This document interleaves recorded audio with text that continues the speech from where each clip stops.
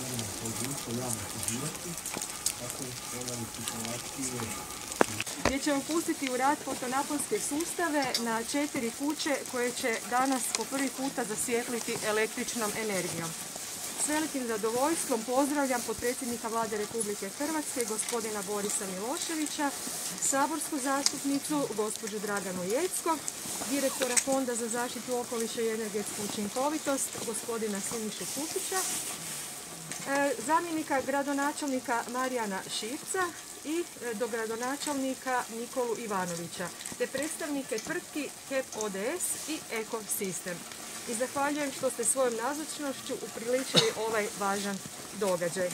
Vjerujem da su najsretniji danas upravo mještani Bjelajca koji su dugo iščekivali ovaj trenutak, a evo kako bi on što prije došao, uskoro ćemo i pustiti fotonaponski sustav u pogon. Evo, dobar dan svima. E, pozdravio bi direktora fonda gospodina Kukića, e, naše domaćine e, jednog i drugog gradonačelnika, gospođu Jesko saborsku zastupnicu i stanovnike Bjelajaca, pogotovo korisnike ovog fotonaponskog uređaja. E, bio sam ovdje prije nešto više od godinu dana, mislim u 12. mjesecu 2019. završili smo elektrifikaciju sela Cikote i Rogulje, tamo je bila provučena nisko naponska mreža. Znači bili smo u 12. mjesecu, ali nije bilo ovako vrijeme kao što je danas. I e, znali smo da nas očekuju bjelajci koji su bili jedan veći izazov.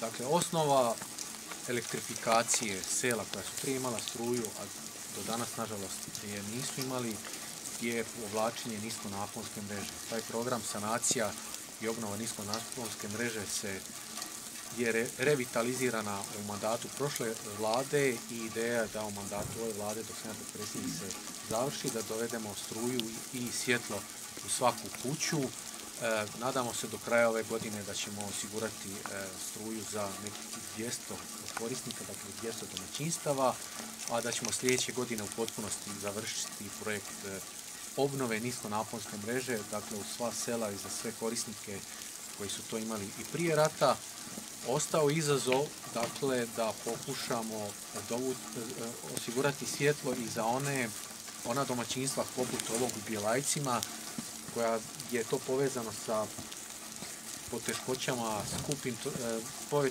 skupom investicijom, neriješenim imovinsko-pravnim odnosima, dakle jako puno nekih birokratskih problema.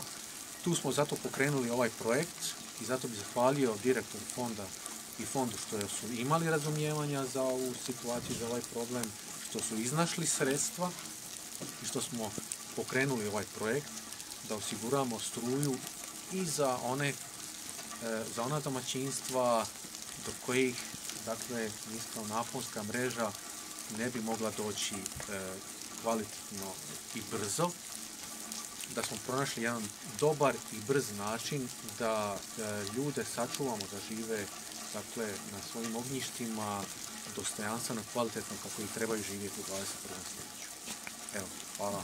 Teško je živjeti bez električne energije, ali ovdje konkretno bilacima žive. Koliko ljudi živi na ovom području? U ove četiri kuće i te dvije? U, je li znate možda vi potpredsjednik? Gospodin Munjević, on će vam Aha, reći nešto više o samom životu. Zahvaljujem se svima ovdje prisutnima i hvala svima što ste omogućili da konačno dobijemo električnu energiju. Hvala vladi Republike, Republike Hrvatske, zamjeniku, e, hvala Nikoli i hvala izvođačima radova. E, ovdje nas živi četvero, e, četiri domaćinstva. Ovdje nas živi četiri, u kući gore troji, jedna baka tu živi sama, ona nije mogla danas biti tu u bolnici i dolje živi jedan. Na. Vaše ime? Jasmin. Jasmin? Jasmin. Prezim? Unjavić. Na petrole, za svjetlo. I što će ovo znači sad za ovo? Pa znači nam puno za pokretanje bilo kakve poljoprivredne proizvodnje. Uglavnom planiramo se fokusirati na pčelarstvo jer divljači i ostalo je neodrživo. Recite, ovdje se trenutno bavite kakvim, da li možda nekakvim poljoprivrednim uzgojem voća? Trenutno uzgojem voća, da. Imamo mlade šljivike, šljiva. To je sve eko proizvodnja? Eko proizvodnja, da. Nećemo, nećemo, ovo je dobro. Ovo je dobro. Ima i vanjsko, nek se vidi. Ija- Iako je snijeg i oblačno, baterija je akumulirala, znači. Ja ću vas zamoliti, ali samo malo više puta, evo ću da...